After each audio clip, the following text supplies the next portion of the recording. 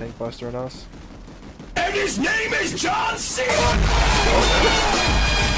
He's dead. Jesus. Saw the opportunity. Took it.